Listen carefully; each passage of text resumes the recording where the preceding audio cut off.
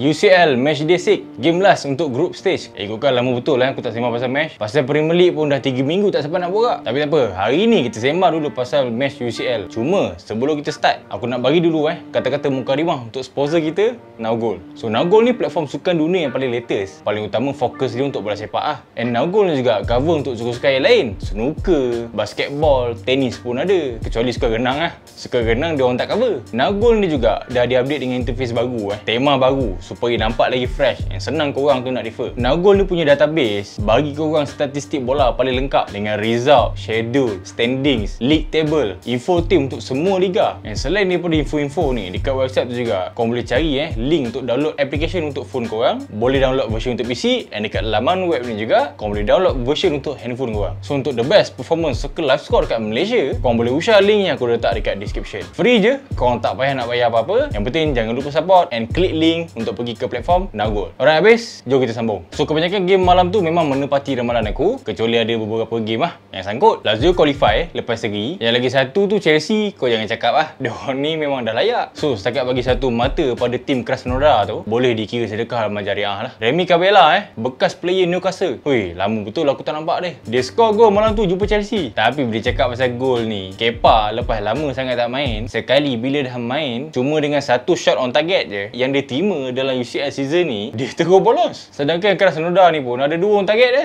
attacking Chelsea tu aku pelik sikit. Macam mana dia orang boleh gol penalti sebiji je sedangkan defend Krasnodar ni hui teruk sangat. Bukan main mabuk ketum lagi sepanjang game. Tapi alright lah sebab gamenya pun tak payah push sangat kan? Dia orang pun dah qualify dah pun. Aku tengok Lampard cuba restkan lagi eh. Ramai key player ke dia. So bagi aku benda tu lagi penting lah untuk next game Barca jumpa dengan Juve. Ikutkan dua-dua tim ni tak payah nak bersungguh sangat pun. Sebab dua-duanya dah lepas. Tapi soal maruah punya pasal kena jaga lah. Begitu baiknya eh. Lepas 2 tahun kita tak tengok CR dengan Messi ni satu padang. Akhirnya dia orang jumpa juga CR yang dalam career dia. Tak pernah-pernah dia score eh bila jumpa Barca dekat UCL kali ni dia score siap 2 biji lagi. Untuk match daripada awal lagi aku mempredict yang Barcelona akan kalah. Dan lagi bila Ronaldo back to the game ah. Dengan Barcelona last weekend dah kalah bodoh dengan Cadiz. Game tu Messi ada 10 shot kau tahu. 5 on target tapi 0 gol season ni saja Messi dia ada 4 game yang shot dia lebih daripada 10 tapi semuanya tak di score dalam match ni saja Messi ada 11 shot kau tahu. Tapi satu pun tak masuk. Even lepas berapa banyak shot pun tapi tak ada hasil. Tapi bagi aku Messi tetap main bagus lah. Manjang lah tak ada kan. Dekat 7-8 game shot lebih daripada 10 pun lah tak ada lagi. Eh masa? So kalau tengok pada match dalam 20 minit pertama eh Juve memang all out gila. Tapi lepas 2-0 Barca terus conquer game sampai habis. Dia orang main lagi bagus. Kalau ikutkan dah apa game yang aku tengok eh Barca ni sebenarnya main bagus. Tak ada teruk mana? Boleh je dia orang create chances kan? Tapi time finishing ending tu yang tak cantik tu bila ending tak dihabiskan dengan gol itu yang baru banyak kali terplay out. Match ni ada dua gol penalti tapi gol kedua Juve tu agak kurang ajar lah. McKennie eh boleh score fly macam tu jumpa Barca pula tu. Kalau dulu-dulu kalau kau score gol macam tu jumpa Barca kau dah boleh buat kenui kan tu? Ha, bahagia punya pasal. Buffon kali ni perform. Tujuh kali yang save kau-kau. Siap clean sheet lagi. Semua shot daripada Messi semua dia tapau. Selain tu untuk Juve ada seorang lagi player yang aku nampak shine. Tak apa dia Aaron Ramsey. Huh, bila cakap pasal Ramsey eh memang padu gila orang tu. Berapa banyak kali eh dia involve dengan build up berapa banyak try. Even main 70 minit je. Tapi dia jadi player yang paling banyak buat recovery tau. Paling banyak buat hal. Dia yang paling banyak menang area 2 lah dalam game ni. Tapi biasalah bila time-time Arsenal tengah main tak elok eh bekas player Arsenal semuanya main bagus. Kau tengok Giroud dekat UCL 6 kali main 6 gol. Bekas player Arsenal semuanya perform kecuali Beckner. Dengan Welbeck eh. Ha, tapi kalau cakap pasal Welbeck dia punya goal ratio dekat Brighton tu lagi elok daripada Aubameyang kau tahu. Sikit pun ada juga perform eh. Ha, nampak? Saja nak nyelik Arsenal ok Barca ni kalau ikutkan banyak gila eh rekod buruk dia dekat UCL season ni. Untuk first time eh semenjak 2007 Barca ni tak finish group stage dekat tangga teratas. Juventus dengan CR7 punya efek nak tambah lagi ini first UCL defeat yang dekat Nou Camp semenjak 2013 and game ni juga first defeat untuk group stage punya level dekat Nou Camp semenjak tahun 2009 kau tahu. So nampak macam remeh tapi hakikatnya pedih eh. Ha tu nasib Barca tu tak duduk satu group dengan Leipzig tak duduk satu group dengan PSG kalau duduk satu group oi lain cerita Yalah nak tukar group pun dah tak boleh je tak? Yang satu tu pun malam tadi dah fade out dah. Dah tiba-tiba jadi belalang. Dah cakap pasal belalang. Ada satu tim kena kunyit malam tadi.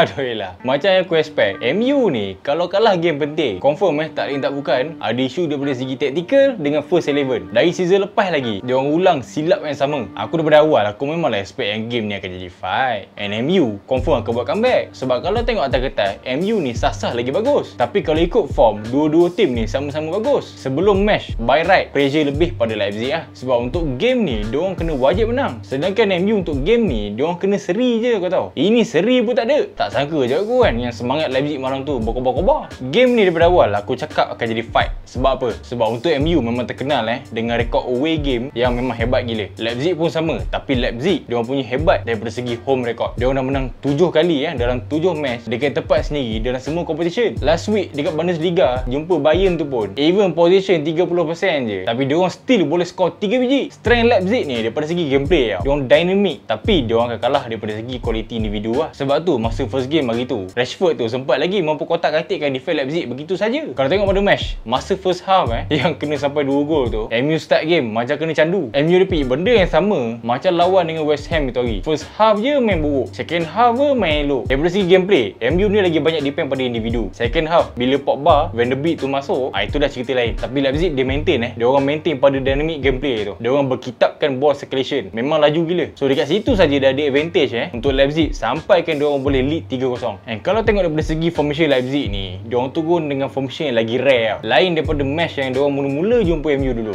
MU pula guna formation yang sama. Sampai 5 defender oleh kasih. Oleh siap keluar ke Teles yang main out of position. Sampai ke Shaw tu selalu sangat naik ke tengah tahu. Dia cuba untuk cut passing lane. Buat apa? Sedangkan dua-dua gol Leipzig tu, dia orang main pakai cross eh. Tak ada passing-passing pun. Daripada segi sub malam tu, Ole dia pergi keluar ke Teles. And then dia dah tahu yang Shaw ni baru balik injured. Bila Shaw dah kena cut, ah, dia dah gelabah. So apa dia buat? Dia keluarkan Shaw, dia masukkan William. Aku pelik macam mana Ole boleh terfikir dalam satu match dia nak guna tiga left back. Macam mana bila kau main dua DM, kita dah tahu dah bila main dua DM bermakna memang tak ada apa-apa benefit untuk bagi attacking lah. So in total untuk MU malam tu, total tujuh orang yang main defensif. Sedangkan untuk attacking, daripada minit-minit awal lagi, kau ada Van de Beek dengan Pogba yang duduk dekat bench. So nampak dekat situ, percaturan dia dah salah dah. Yang bila cakap pasal Shaw yang baru balik dari injured, Shaw tu bukannya level Ronaldo Nazario. Ha? Balik-balik injured turun naik first 11. Pogba dulu pun balik daripada injured. Pun duduk bench dulu kau tahu, baru main. Ini Shaw injured, turun masuk first 11. Ui, sayang betul oleh kat Shaw. So dekat situ saja dia dah rugikan dua sub tau. So nampak benar olehnya confused. Sebelum ni memang ada kan. Oleh main guna defender yang dia orang menang. Tapi cerita ni bila team opponent dah mula ambil pedoman dari first game dia orang. Contoh macam PSG last week. Even formation dia orang, formation yang sama. Tapi komposisi menyerang dia orang berbeza. Nampak yang malam tu PSG dia cuba attack guna cara yang lain eh. Dia orang try main wide area daripada belah kanan berbanding daripada belah kiri. Dia orang cuba apa? Dia orang cuba elak jumpa Bisaka. So nampak itu antara beza taktik dengan politik. Untuk best player daripada Leipzig, bagi aku Kanku masa first half 100% accuracy, 100% passing rate. Angelino dekat UCL season ni dah ada 3 gol, 3 assist. Aku dah kata daripada dulu dah. Kalau lawan dengan MU ni akan ada selalu sangat eh. Kalau tak ramai pun seorang daripada team opponent tu yang memang automatik akan jadi degrade. Lagi pula si Muhammad Angelino ni, dia punya DNA City tu memang terlebih dengan badan. Ha, so tak boleh cakap apa lah. Dia punya main padu malam tu jumpa MU. Dia macam bonong tau. Untuk MU dekat UCL, semenjak Selek retire, 3 tahun tak qualify UCL, 2 tahun setakat group stage, 2 kali quarter, sekali je round of 16. Senang cerita MU match ni memang ada buat comeback lah. Siap ada dua comeback kau tau. Satu yang dia orang kejar 2 gol tu. Yang satu lagi dia orang comeback ke Europa League lah. Tapi tak apa guys. Aku memang tak ada hal. MU ni tak lepas ke next stage. Tak ada hal. Sebab kalau kau tengok pada taktik oleh, kita ni belum ke tahap tu lagi. So tak apa, kita try Europa League pula. Yelah, Liga Malam Rabu kita dah melingkup. Sekarang kita beralih pula ke Liga Malam Jumaat. Haha, sambil-sambil tunggu game, boleh juga bangun malam tahajud je tak? Lagi besar pahala Malam Jumaat daripada pahala Malam Rabu. Nampak permainan dekat situ.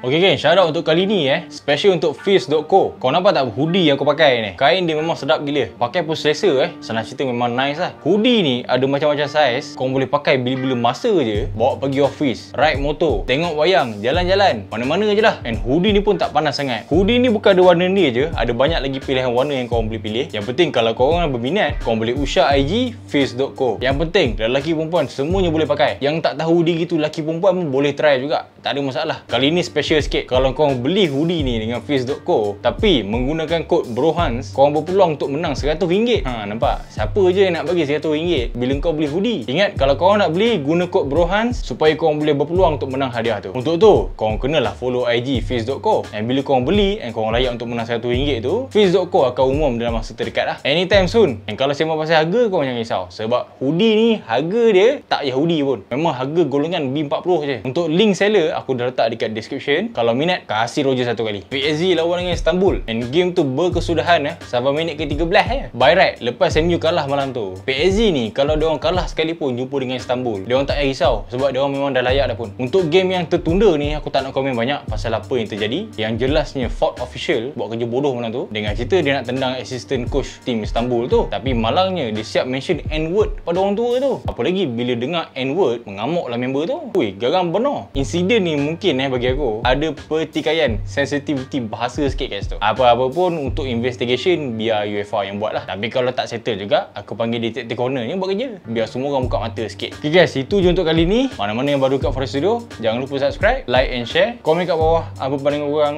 pasal insiden yang jadi dengan MU pun terungkup dan apa pandangan korang pasal game-game ni. I'll see you in the next video. Aku Bro Hans. Thanks for watching.